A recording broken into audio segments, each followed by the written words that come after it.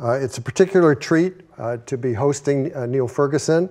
Uh, he is, as I'm sure many of you know, a British born his historian who has managed not only to straddle Britain and, and America with distinction, but, but to amass a, a string of, of accomplishments in both academia and public media, and now and then to um, stir up a bit of controversy. Uh, he, holds a, he holds a professorship at Harvard as well as positions, uh, fe fellow positions at uh, uh both Stanford and Oxford.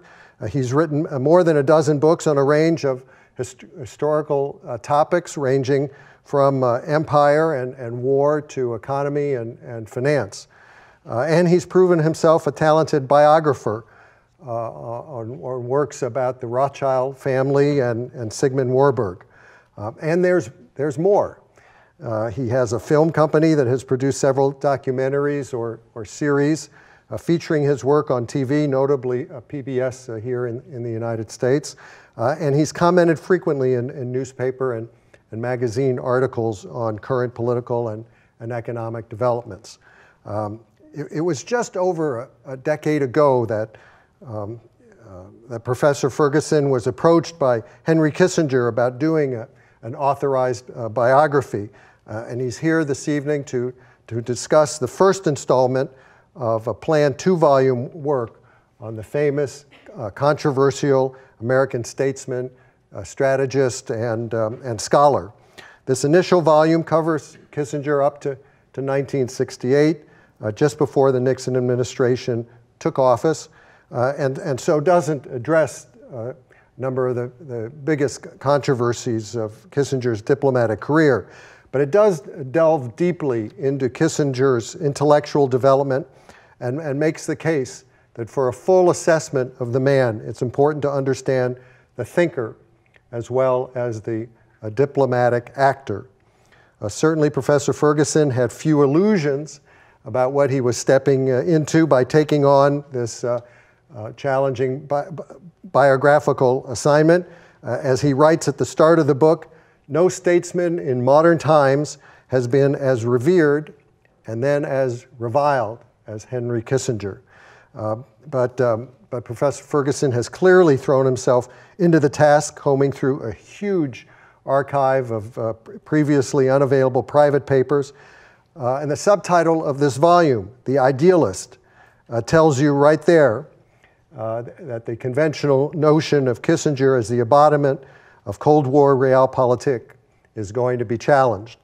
A number uh, of reviews uh, so far have uh, commended the book for its scholarship uh, and engrossing narrative. So ladies and gentlemen, please join me in welcoming Niall Ferguson.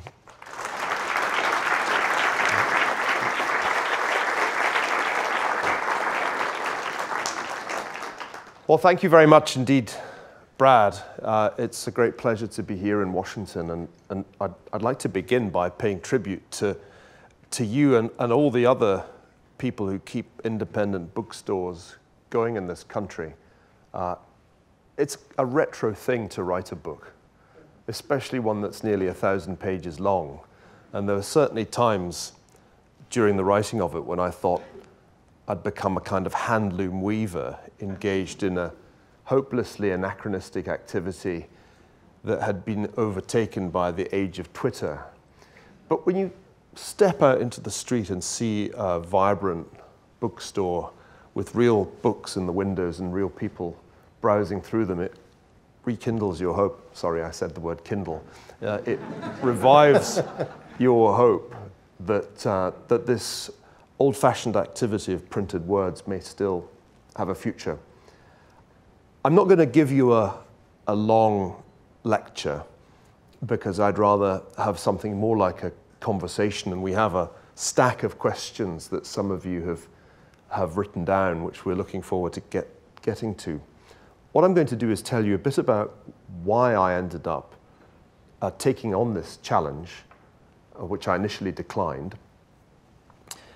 I'm going to talk a little bit about the story that I tell the story of the first half of Henry Kissinger's life, almost exactly half, in fact. And then I want to say a bit about why I called it The Idealist.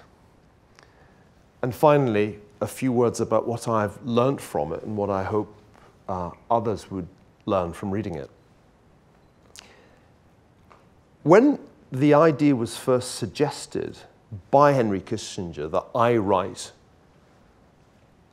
a biography of him, I have to admit that I, I hesitated and indeed at first said no.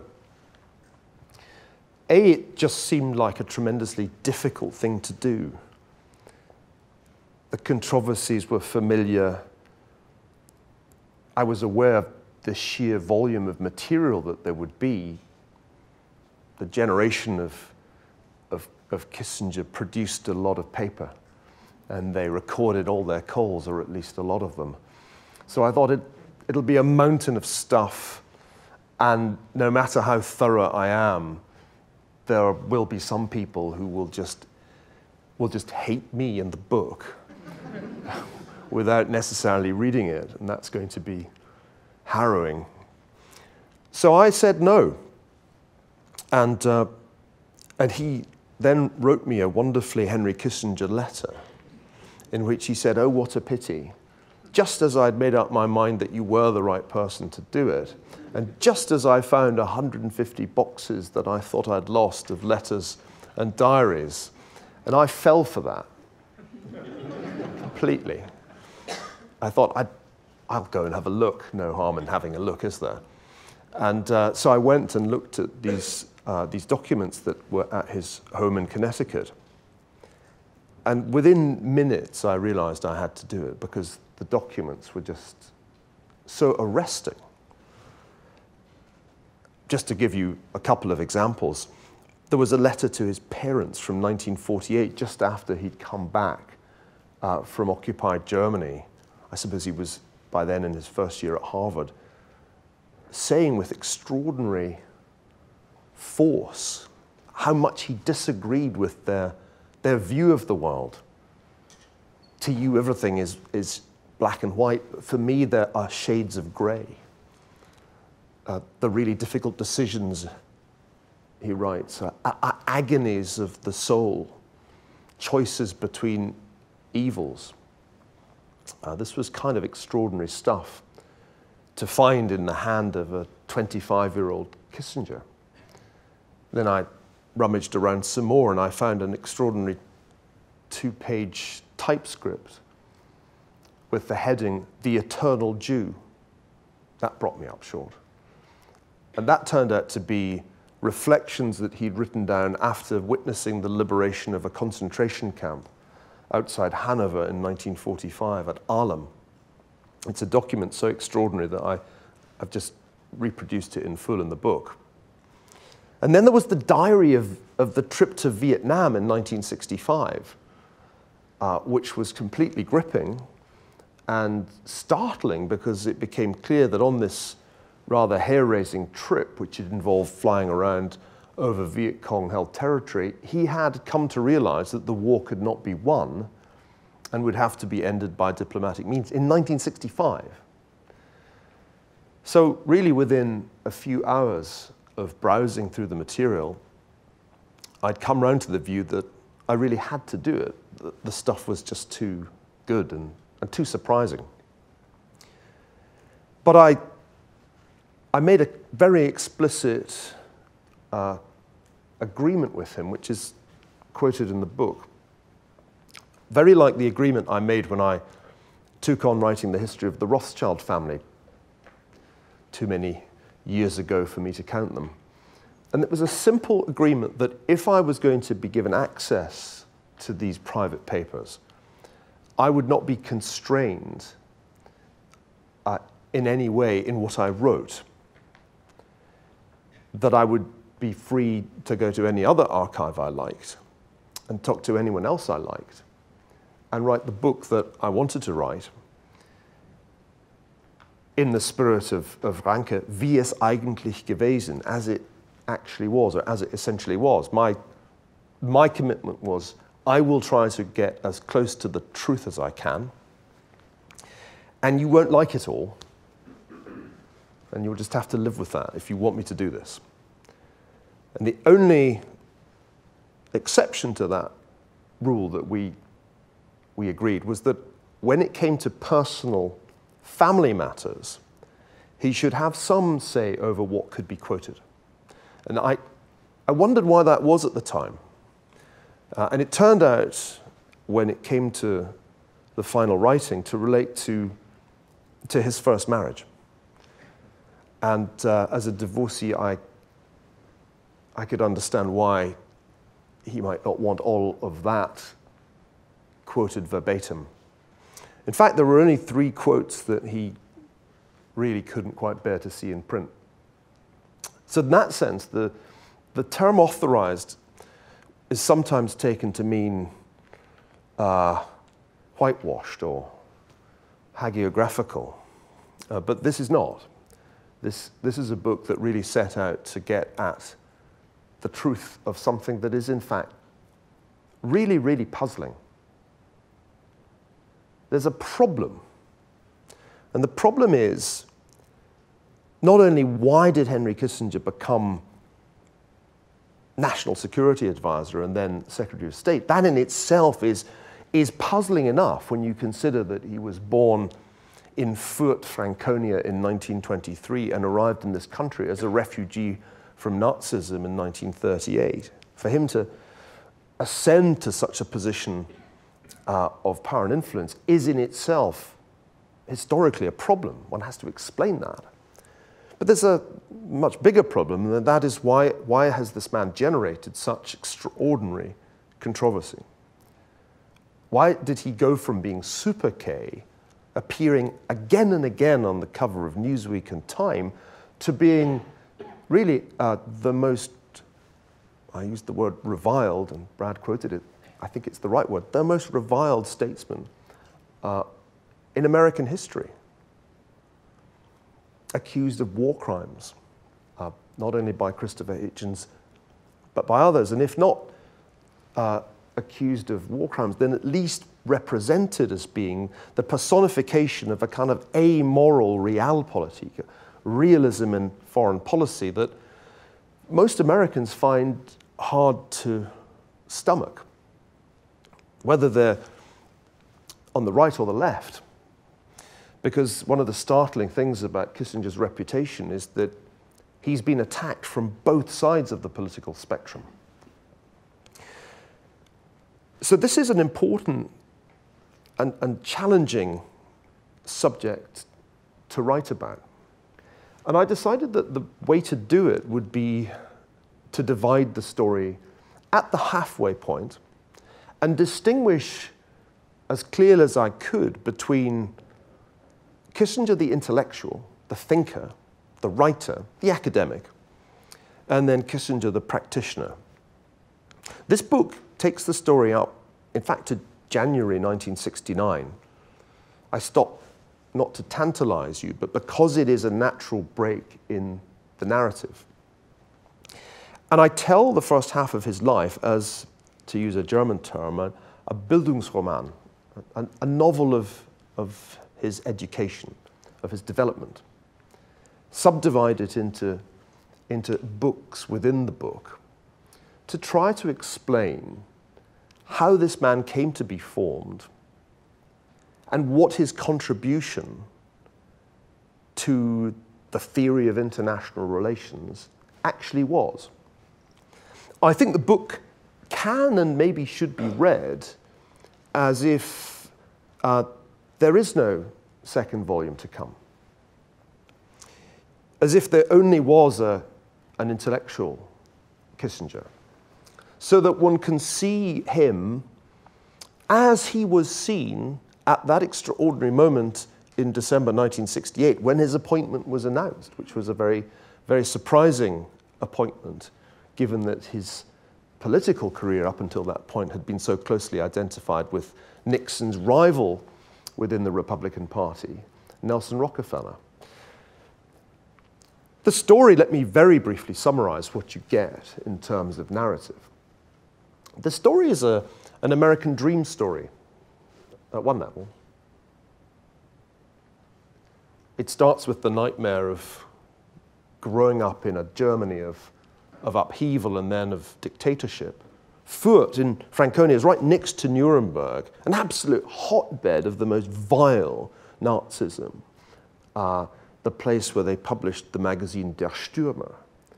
Uh, and Kissinger suffered uh, all the discrimination and harassment, including uh, violence, uh, that Jews experienced growing up in 1930s Germany. They got out in the nick of time, just before the pogrom of Kristallnacht, uh, and they were able to get to the United States because his mother had a relative who, who vouched for them, which you had to get in order to be one of those who got a quota visa. Kissinger started all over again, having arrived here age 15. He studied nights. During the day, he worked in a, in a factory that made shaving brushes.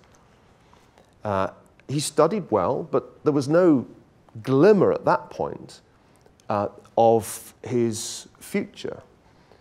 The expectation was maybe accountancy, something like that.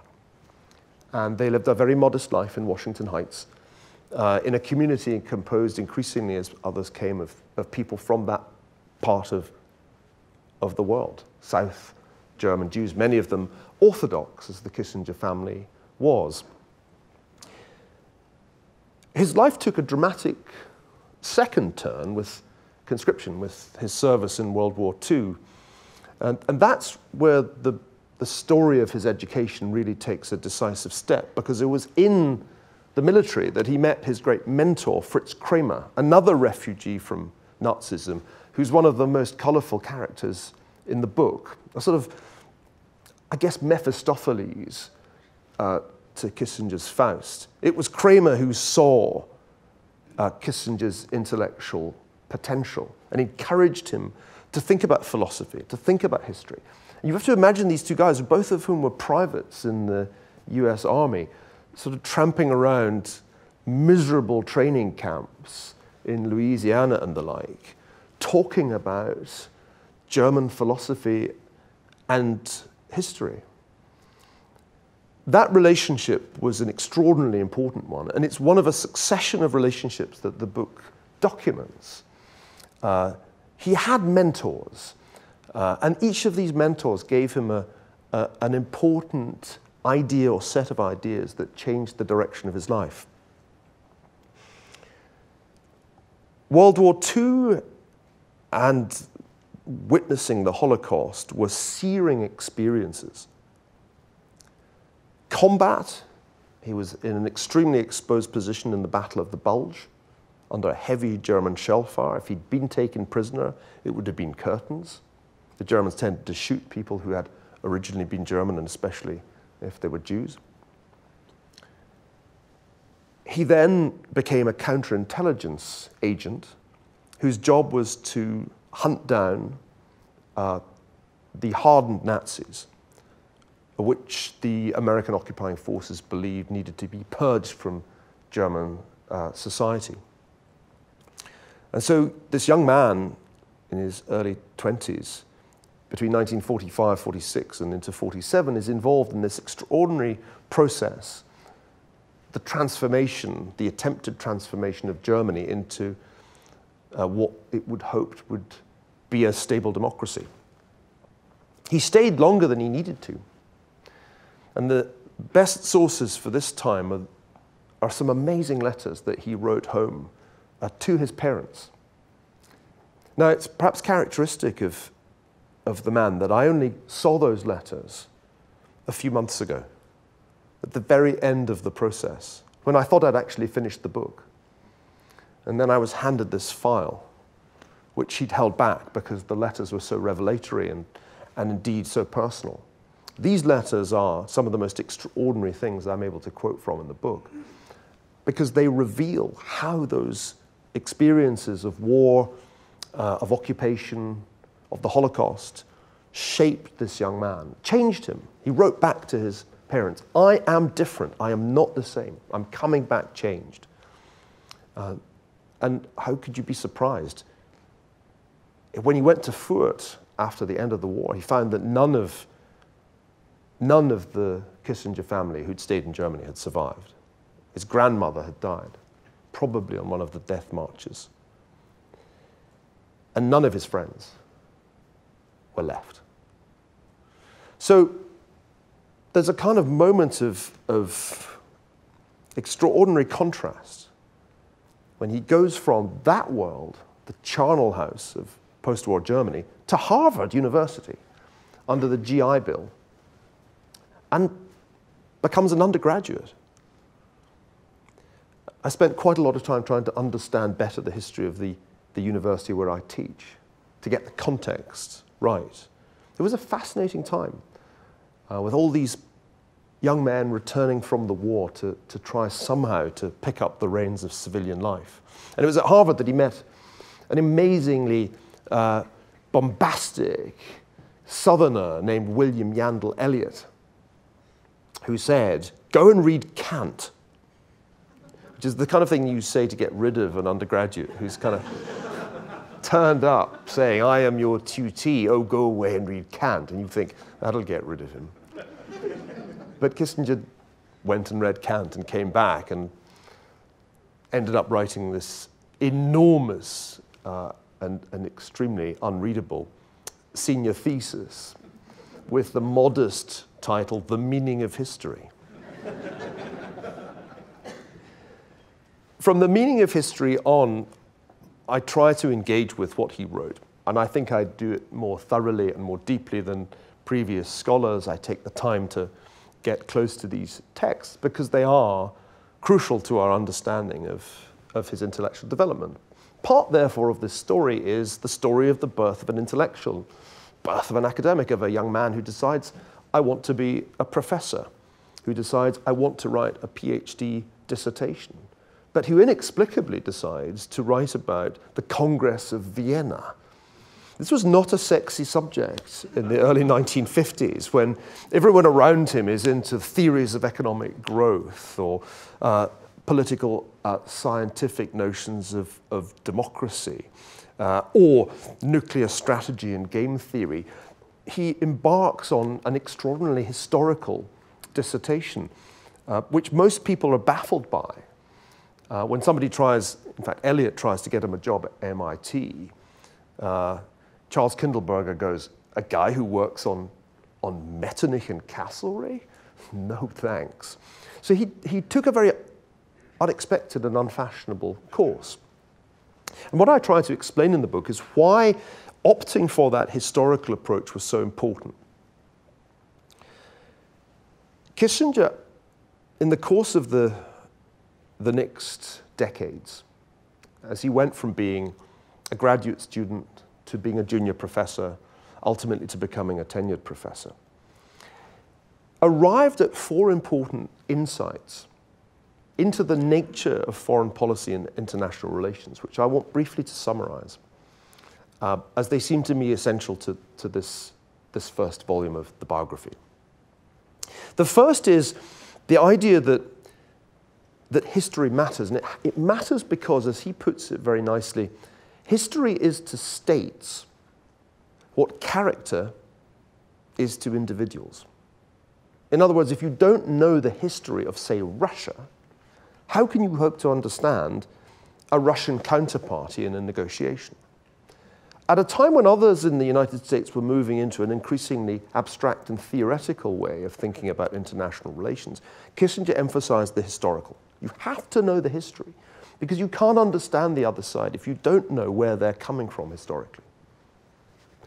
The second thing that he learned, which to me is a very important insight, is what he called the problem of conjecture.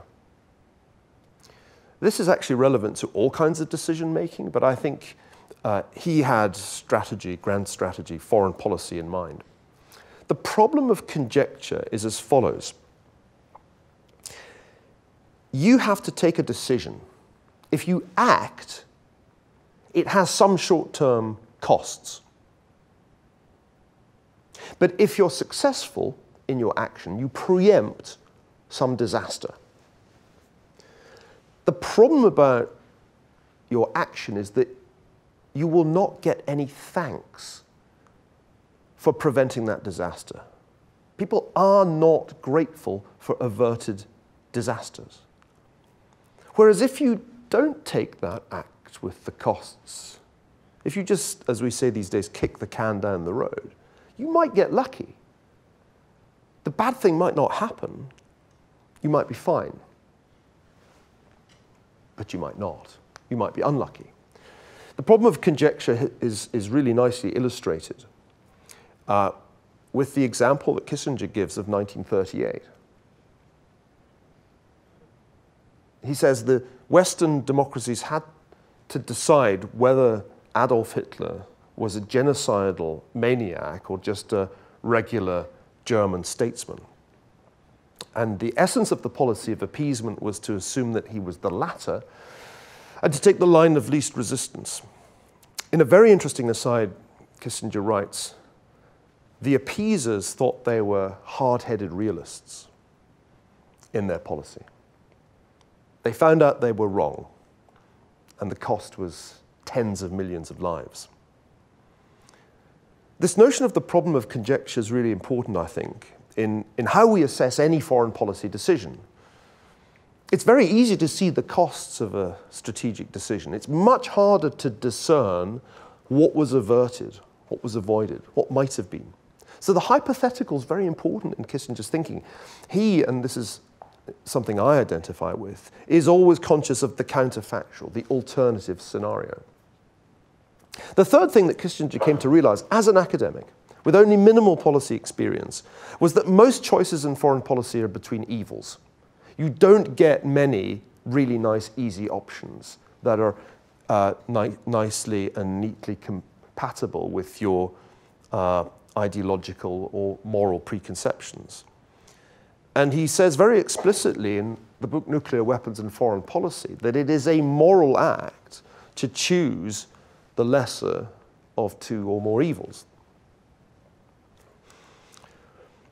The, third, the fourth um, insight that Kissinger arrived at, which came partly from writing a book about Bismarck that he never finished. He only ever published an article about Bismarck, but there's this whole unfinished book that I found in his papers, is that pure realism, a foreign policy that is based entirely on considerations of national interest and is decoupled from any morality is not sustainable.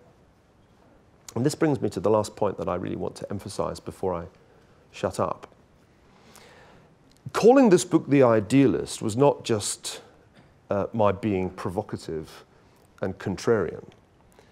It became clear to me very early on that he had been misrepresented, at least as a thinker, uh, with terms like realist uh, or Machiavellian, a word that's sometimes used. He was, he was not those things. Uh, in fact, because of his, his negative view of appeasement, his immersion in German idealism as, a, as an undergraduate and graduate, and his revulsion against historical materialism as a postgraduate, not only against Marxism Leninism, which he genuinely uh, abhorred, but also against capitalist versions of economic materialism. Kissinger says very explicitly we cannot win the Cold War simply by saying our economic system is more productive and our growth rate is higher. He argues that you would have to reject totalitarianism, even if it were economically superior, because it is the negation of freedom. And the idea of freedom is very central not only to the meaning of history, but to much else that Kissinger wrote. He even gives one of his later books the title, The, the Necessity for Choice. In short, as I read my way through Kissinger's published and unpublished work, I came to realize that he had been uh, misrepresented, that it was much better and more truthful to realize that he was, in many respects, uh, an idealist. He was an idealist on practical issues.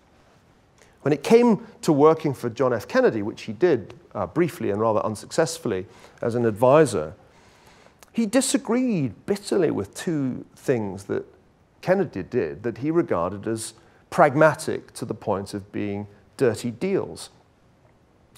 The Berlin Wall, Kissinger regarded as a dreadful a dreadful thing that the United States should not have tolerated. Ultimately, Kissinger believed in self determination Woodrow Wilson's great ideal. He strongly favored German uh, reunification as long as it was on the basis of democracy and not on Soviet terms. When he discovered that the Cuban Missile Crisis had been ended with a deal, a secret deal involving the removal of American missiles from Turkey, he thought that was a, a sellout too.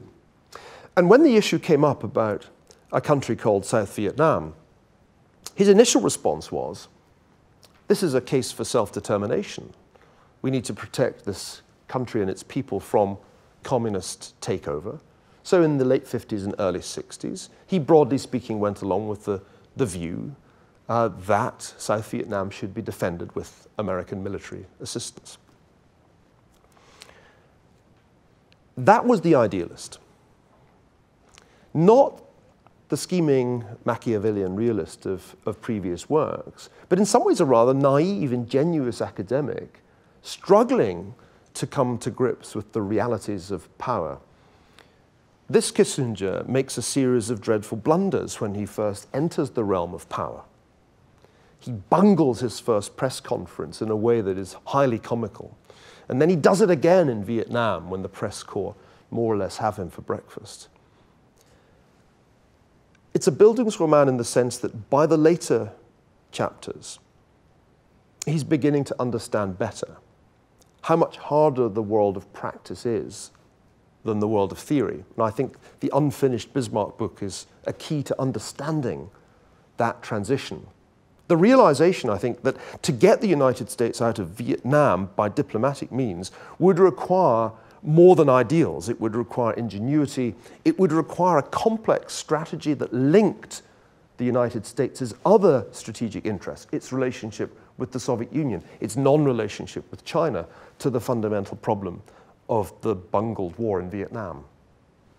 So the book ends with Kissinger shifting, changing, learning, and out of the confusion of the election of 1968, to his own amazement, being offered the job of national security advisor by a man he had repeatedly and sometimes publicly criticized and condemned as unfit for the presidency, Richard Nixon.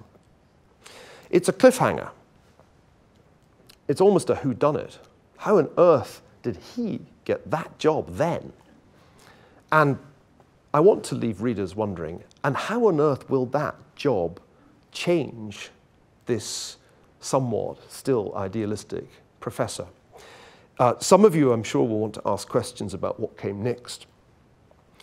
Uh, I'm very deliberately avoiding giving answers on things I'm still thinking about.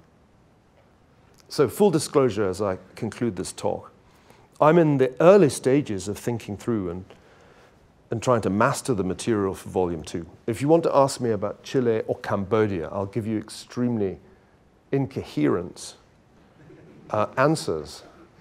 I don't know. I don't even know what the second volume will be called. And if you think it's going to be called The Realist, let's face it, that's just too obvious. so let me conclude by thanking you for coming uh, tonight uh, to hear my, my thoughts and uh, for the questions that you've posed, which I suppose I'm now going to have to answer. Thanks very much indeed.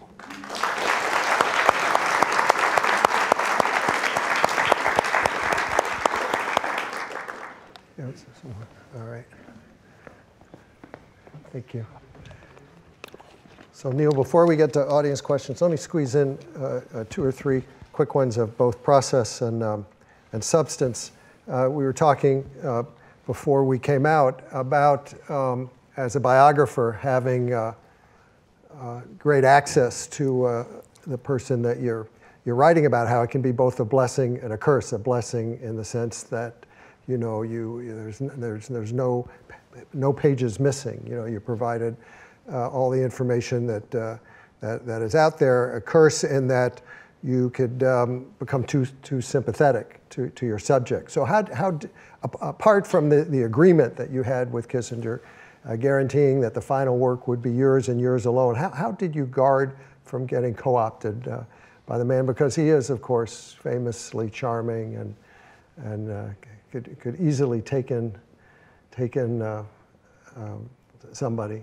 You, uh, you've had this experience yourself, Brad, as you should uh, perhaps remind the audience, having written a biography of, of Don Rumsfeld, uh, who can also occasionally be charming.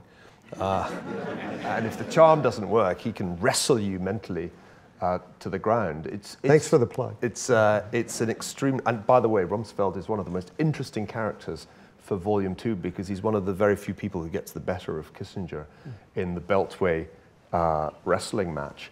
I, uh, I had some of this uh, challenge when I was writing about the Rothschild family. I can remember early on in that process, I went for a meeting with some of the older members of the family, and I'd begun writing the first chapters of the book. And this was stuff that dealt with the early 19th century. And in the middle of the meeting, uh, one of the members of the family said hesitantly, Do you like us? And I was absolutely thrown because it had never occurred to me to think of it in those terms. To me, it, was a scholarly assignment, a daunting one, a massive material uh, in both that case and the history uh, of Henry Kissinger, dauntingly complex documents, some of them pretty hard to read, uh, a whole set of, of previous literature that I felt was in some ways unsatisfactory. It's just, it's just a challenge, it's work. You don't really ask yourself, do I like them? Do I like him? I think it would be very hard to write a biography of somebody that you found boring. I actually once tried to write a, a history of the family, uh, the royal family, uh, the Saxe-Coburg Gothas. In fact, I thought it would be good to do a sequel of the Rothschild book that looked at another great family that had come to be very powerful in Europe. But I had to give it up because I found their letters so boring.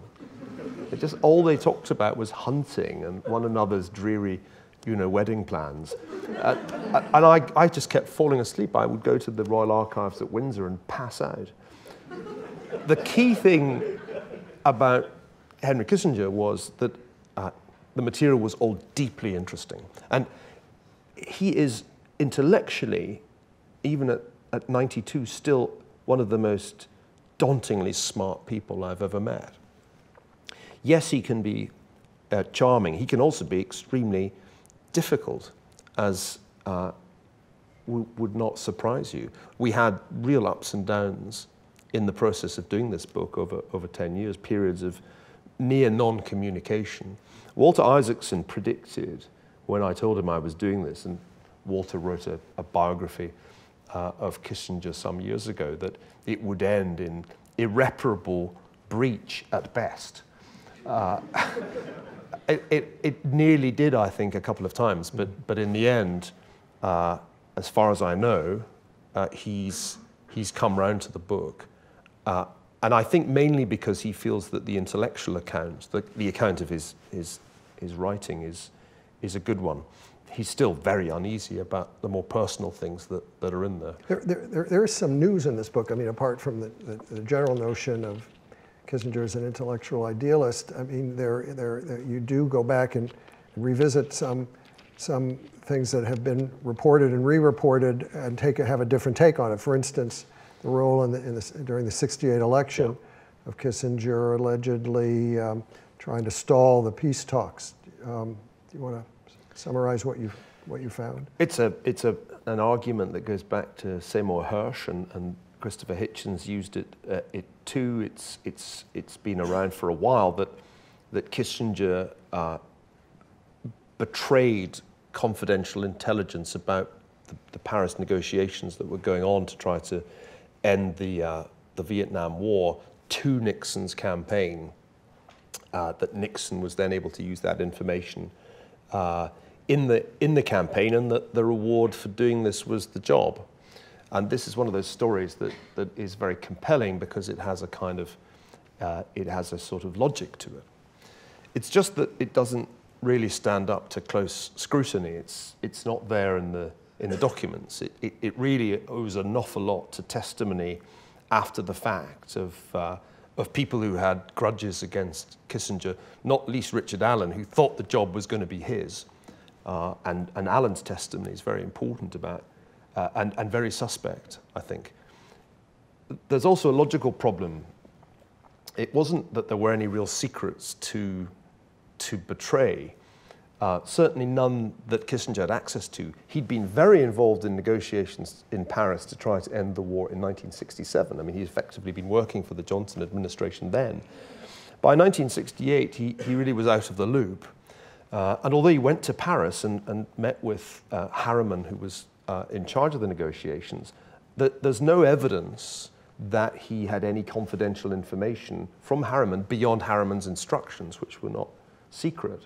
Uh, and Nixon, uh, in his memoirs, uh, notes that there was a source within the administration who did get information to the Nixon camp, but it wasn't Kissinger. Mm. In fact, we don't quite know who it was. Uh, Kissinger uh, was only one of a great many people that the Nixon campaign was tapping.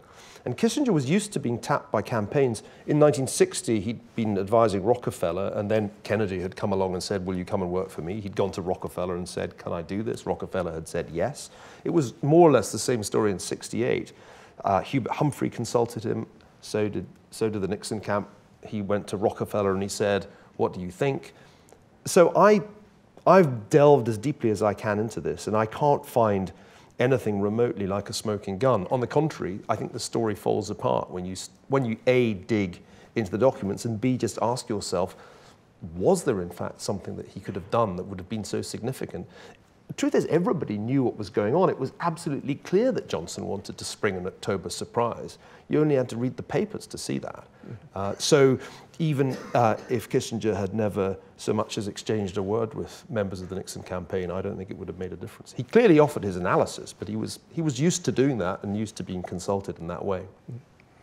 Um, so one audience question I have here uh, says, a few men in public life were as attentive to their public image, their legacy, as Henry Kissinger. Do you know that the documents you were given uh, were complete and accurate? Well, no archive, uh, by, in at least my experience, is complete. You, you have to assume that, that things don't all survive, whether through happenstance or, or through weeding.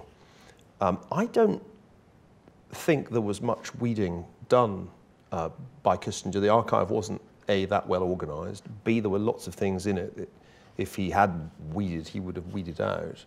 Uh, and in that sense, I think uh, the private papers are, are, a pretty good source, certainly uh, for this first half of his life. Even if they're not, remember, it's only one of the archives that I used. For both volumes, I think I've now got material from 111 archives. In volume one, 50 archives are, uh, are there in the back. Um, I've, I've been taking my time over this for a good reason. And that reason is that if you're studying the international man of mystery, you need to study him from multiple vantage points, not only from the US vantage point, uh, but also from, from foreign uh, governments and, and foreign uh, individuals' vantage points so I went through a pretty elaborate process of triangulation to try to make sure that the stories checked out. That, for example, what he wrote about his Vietnam trip was corroborated by uh, what was coming from the State Department's official uh, embassy reports. Uh, and, and by and large, it turned out that Kissinger's reports of meetings were better than the reports sent by the professional diplomats, more detailed, richer. Uh, I tried to look at the negotiations that he was involved in uh, by looking also at, at, foreign archives, the Polish archives, for example. So I think the best way to feel confident that you're doing your job as a, as a historian thoroughly is to be pretty exhaustive about it and make sure that you've, you've left no stone unturned. That's been my approach, and it's why it's taken, it's why it's taken so long. Mm. Uh, another question, why did President Nixon appoint Henry Kissinger as National Security Advisor and later Secretary of State, even though Kissinger previously supported Nelson Rockefeller for president? They were a pretty unlikely combination. Um, so unlikely that Kissinger didn't realize Nixon had offered him the job the first time he offered him the job. Uh, it's a fascinating story, a, a bit of a mystery. There's, um, there's a good one-liner about this. Guido Goldman uh, who was one of, of Kissinger's doctoral students at Harvard, uh, told me uh, in an interview that, uh, and I quote, Henry was the only thing of Nelson's that Nixon could afford, which is a great line. if, you, if you imagine uh, Nixon with all his resentments towards the wealthy playboy uh, Rockefeller, thinking of this wonderful coup, taking his, his brainiest advisor, it begins to make a little more sense. But obviously, that's not a sufficient explanation. I, I, I certainly don't think there was some kind of dirty deal uh, done. The job would have been far too big a payoff for a mere bit of, uh, for a mere leak. I mean, you don't, you don't buy leaks by giving people jobs that, at that level. It, it makes more sense when you st start to reflect on, on Nixon's own personality. Nixon did not really like meeting people much. He was, for a politician, bizarrely misanthropic. Uh, his entire life was really a kind of massive act of, of repression of his own desire to avoid people, which is not a normal trait in a politician. So he'd never really uh, had much to do with Kissinger, uh, and Kissinger had avoided him. On the rare occasions when they had reached out to one another, I've got all the sort of minimal traces of this relationship. Kissinger would invite him to come to Harvard to speak at the international seminar, at some other seminar, Nixon would not show up. And then Nixon, on one occasion, seeks to get Kissinger's advice, and Kissinger immediately invents a trip to Japan to avoid meeting him. He disliked Nixon. He said publicly that he disliked him. So this is a wonderful mystery that can only be solved by realizing that Nixon read Kissinger. He read uh, quite a lot of what Kissinger published, beginning with nuclear weapons and foreign policy in 1957 when Nixon was vice president. And Nixon formed the view that Kissinger was not only intellectually formidable, but on his wavelength when it came to foreign policy uh, and strategy. And I think that that was a very interesting insight. Uh, you can find the, the point of convergence uh, probably most obviously in the case of policy towards China. In the late 60s, they both have the same thought that the split between the Soviets and the Chinese, the, the war that broke out on the border, was an opportunity for American foreign policy. Uh, there'll be an endless argument about who had this idea first. At least there has been. I've, I've actually got the answer. It was neither of them. The idea was given to Kissinger, and I think maybe also to Nixon, by a Czech named Antonin Snejdarek uh, in late 67, early 68, i.e., when the Prague Spring was getting going.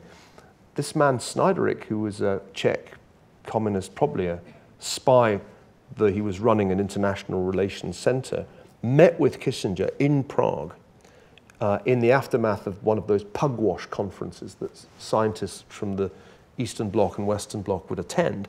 And Snyder explains to Kissinger, look, you don't realize it, but you're going to be able to do a deal with Mao because the Soviets hate Mao. And it'll be like, it'll be like the Nazi-Soviet pact. It'll be the great surprise, diplomatic surprise, when the US does a deal with the Chinese at the expense of the Russians. And, and, and Kissinger's completely incredulous. I mean, he dismisses the ideas as science fiction.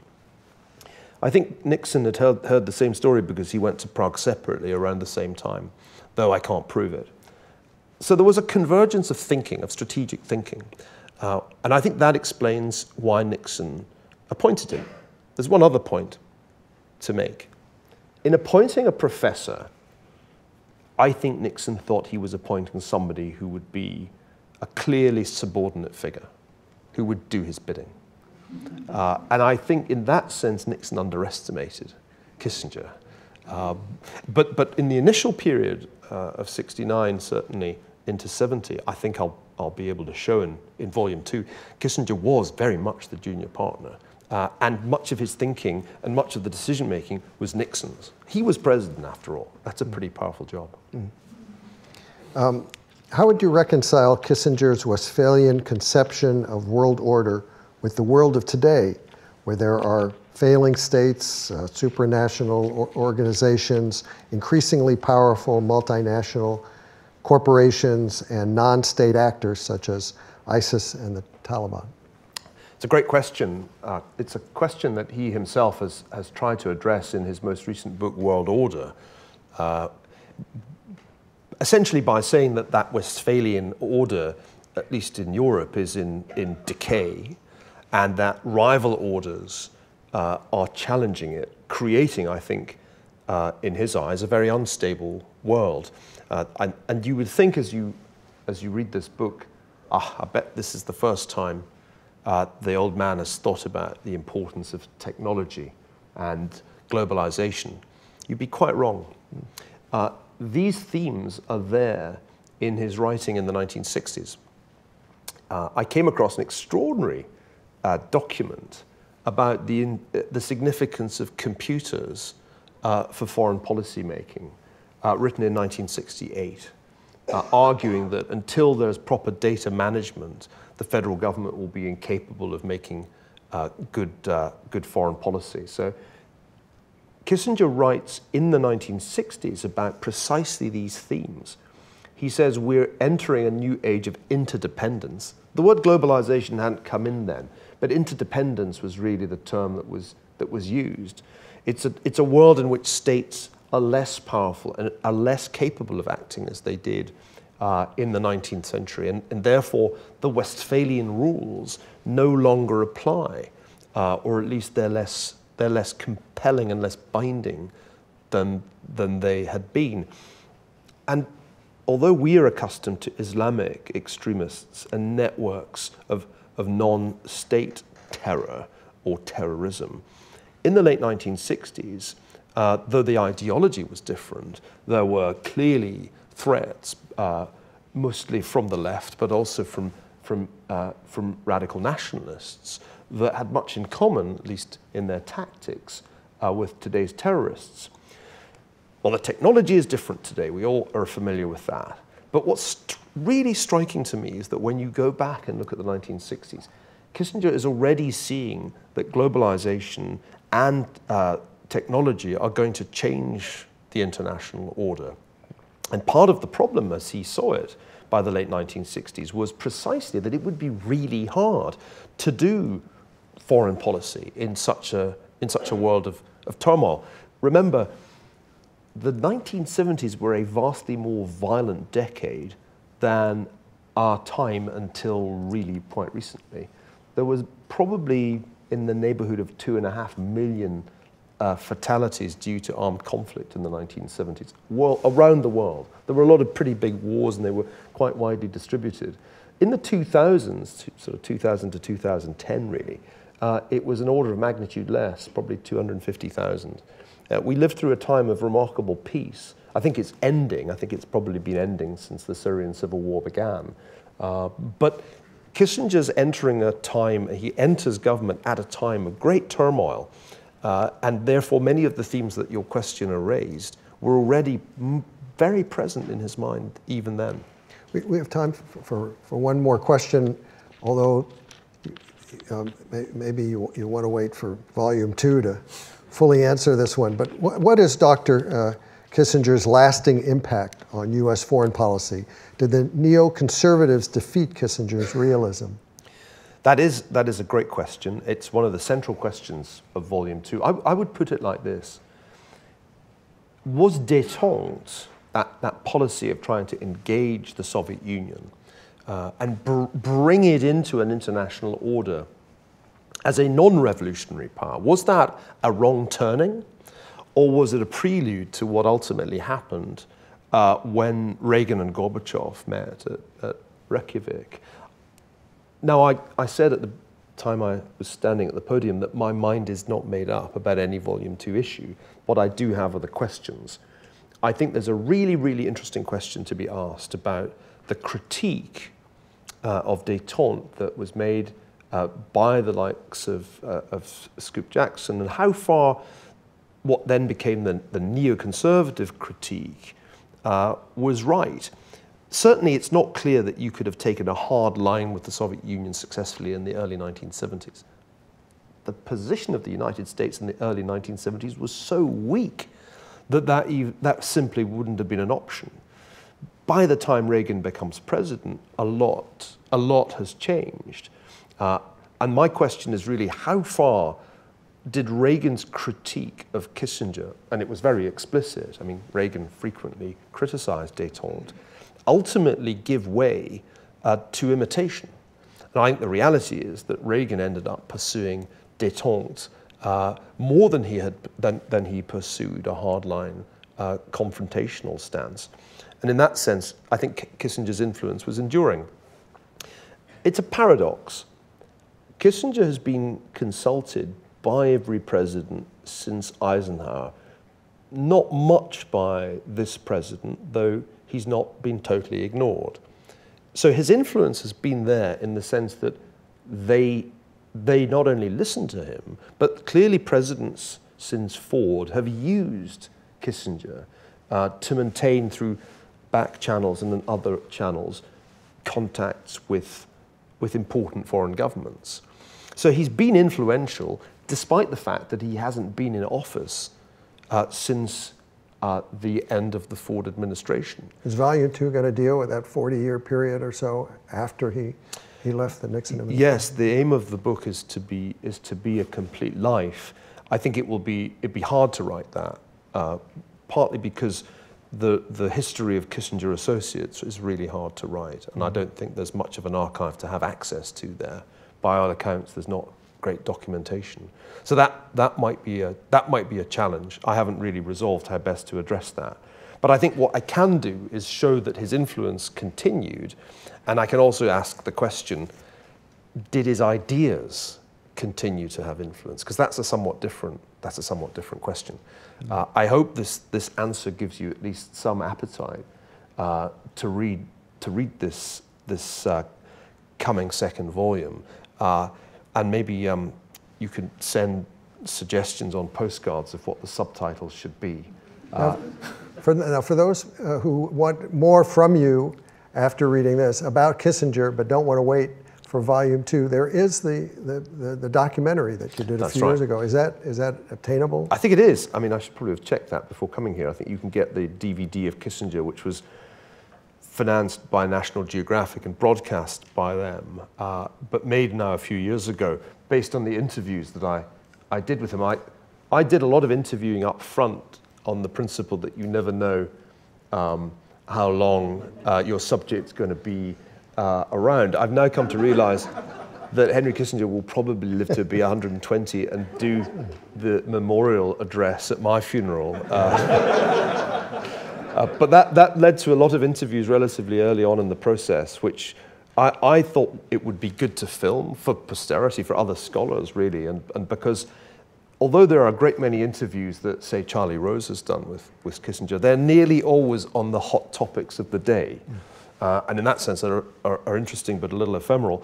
I spent those, those interview days asking him about, I suppose, big questions of, of uh, of the theory of, of strategy, of the, the philosophy of, of, of history, uh, as well as questions about uh, the, hot, the hot topics of the 1970s, including even Chile and Cambodia. So we, we made a film that mostly deals with the period of, of his time in government, and uh, he hated it.